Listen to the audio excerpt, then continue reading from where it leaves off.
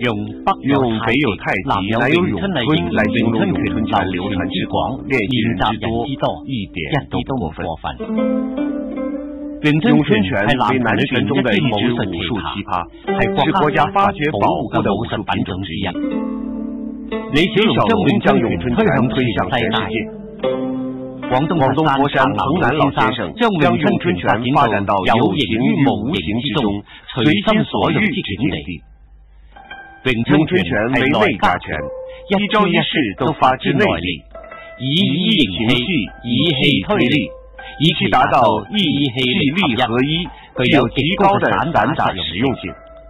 广东佛山平式咏春拳套路有初级套路小练头，中级套路寻条，高级套路标级，器械套路有蝴蝶双刀、六点半棍。还有庞氏咏春拳独有的木人桩练法，是学习武术爱好者不可多得的武术套路。